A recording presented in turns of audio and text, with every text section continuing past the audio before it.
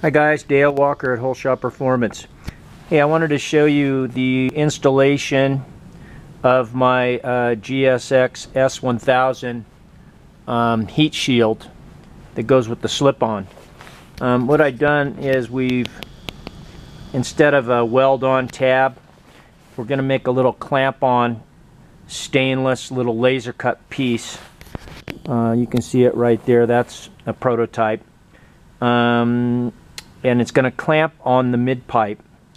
That way, if you run an arrow header later or you're buying the pipe to go on an arrow, you don't need that tab because you don't need the shield and it won't be a big ugly thing hanging off the pipe. So I put a piece of tape on it just to kind of keep you know any little scratches from happening. Anyway, you stick the um, shield up on there. You get the uh, first get the slip-on completely installed on the bike and uh, completely adjusted and everything and then you put the shield on last.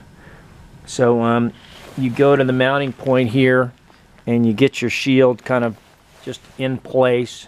Then you get the tab on there under the clamp and you just kind of eyeball it and play around with it a little bit and mark it with a felt pen get it close lightly snug it and then you're going to go ahead and put the shield on. So and adjust it a little bit. So um, there it is there now. Let me uh, here's the original little rubber tab cover. Stick that on.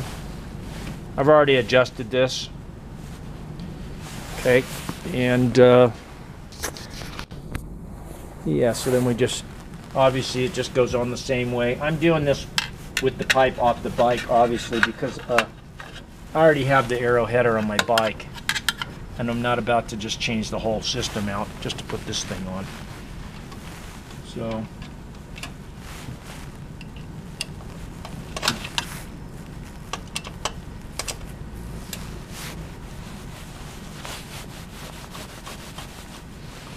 There it is, and then you'll have the uh, the little stainless uh, hose clamp will come with it. You put the nut on the back, tighten it down securely, and it's on there just like stock and it's all neat and tidy. Uh, you go with the arrow header, you just remove it, um, polish up the pipe. If you get a little mark on it, you could put it on a buffer or, you know, you could even use a little bit of the insulator underneath the uh, clamp, kind of they use on car headers if you wanted to. But it isn't really necessary. It'd be up to you. But anyway, there's the install of the shield with the Holeshot slip-on. All right, thanks for watching.